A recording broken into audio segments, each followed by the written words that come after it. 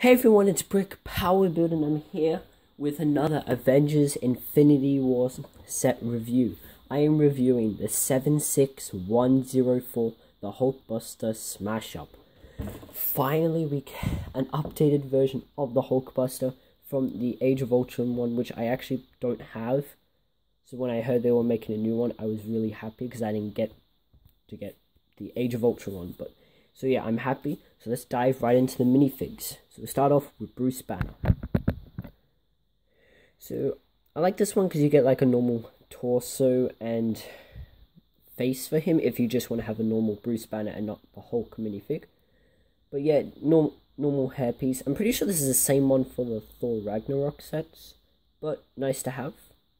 And he's got his, of course, turning into the Hulk green eyes and all that. So yeah, that's cool.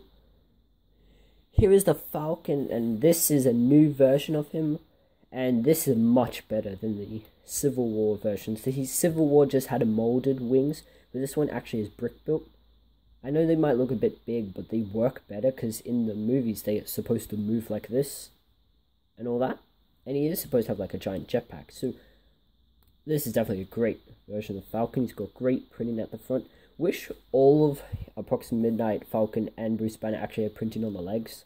That would have been cool, but that's okay. He also comes with, with his little drone. See? So it, it flies up, which is nice to have in this.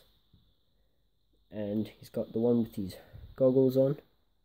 And then I have to turn his head around here. He's got a nice smile.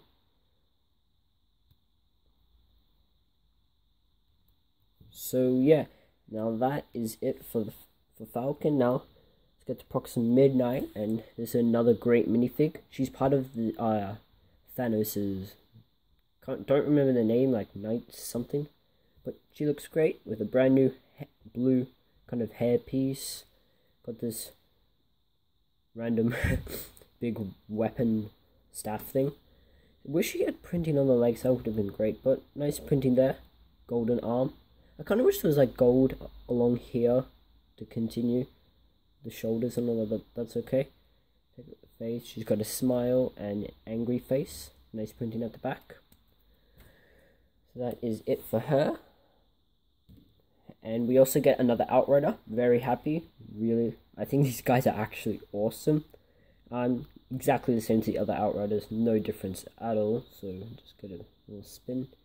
Got these four arms, of course, and um, it's really good. Have another one if you want to make an army. Personally, I do want to make an army because thinking of future marks. I don't know mark things for these dudes. So have to watch the movie first to get ideas. But so far, thinking about it. That's it for the minifigs. Now let's dive right into the set. So, so here is the Hulk Buster, and my okay now off the bat, this is much better than the Age of Ultron one. In the movie, I was really happy, love the Age of Ultron one, but in Lego, this is a much better one. I looked it on YouTube, this looks much better, sleeker, and just overall looks better. It's got it's got a lot of stickers to this. It's got two stickers here, sticker there, sticker there, sticker there, sticker there, sticker there, and sticker here, sticker here, and I think that's all. That's, that's a lot of stickers for this dude. So his arms move around the place, so I like how you can do whatever you want with the arms. And that can fall off, so that, that's good.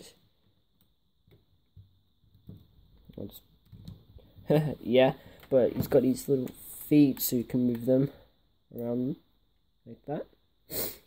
Look at the back, and he's got this, which moves one of his arms like this, so you can do like a super with smash up. This is called the Hulkbuster smash up, so you can, I don't know, uh, get an outrider. You can like, or something like that.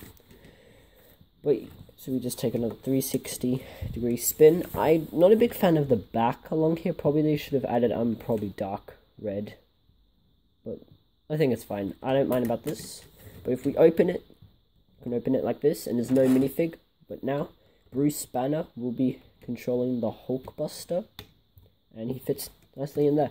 Brand new head, dome head, which is nice. But yeah, that's well, that's pretty much it for this minifig, or you can move his legs like that.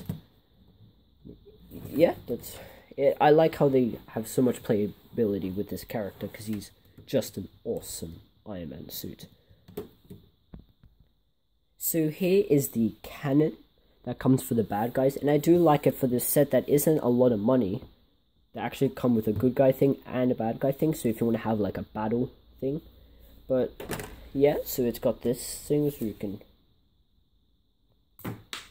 fire out like that. I'm glad it's not like a stud shooter. That, that's great. It's not a stud shooter.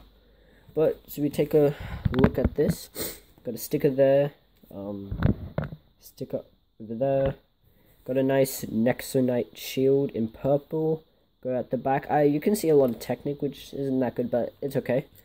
You go at the back, open this, and it comes with Infinity Gem, yes, which is exclusive to this set. And if you want to collect them all, you have to go all the sets. And that's what I'm trying to do right now. I'm missing two. And there's also a seat up here, so get, I don't know, Outrider or Proxima Midnight, and yeah. Um, and you can put them on top of here. So you can change between these two and have them on top of here and get the Hulkbuster and you can be fighting. Just like that. So that's the end of the review. Now let's get to the box, the instructions, and the final part of the video. So here is the box. Nice um, battle going on along here. Um, they're in Wakanda. You can see from the trailers and all that. But yeah, now let's get to the back, just showing all what can happen in this set. Pretty good. Now let's get to the instructions. So here are the instructions, or the instruction for this set. Just the same as the box, but if we go at the back, which we all want to see, because it has the advertisements for more LEGO sets. Here they are got those two. Need I think that's going to be the next video should be Thor's Weapon Quest review. Should be that one. Don't have this one, the Ultimate Battle. Was it Final Battle? I think it's Ultimate Battle. Looks like a good set. Bit overpriced over here where I am. it's overpriced. I'm going to have to wait a while on that because I also want to get the Han Solo movie set, so I'm going to have to delay that set and the and another Infinity War set for a while. But yeah, that's the end of this. Now let's get to the final part of the video. So overall, I think this is an amazing set. It's my second favorite set from the line. My favorite one, of course, is the Sanctum Sanctorum Showdown. But this set just gives you so much playability with anything like the Hulkbuster, doing um moving his arms and all that. So you have so much to do. Bad cannon, nice to have like a battle. Minifigs are all great.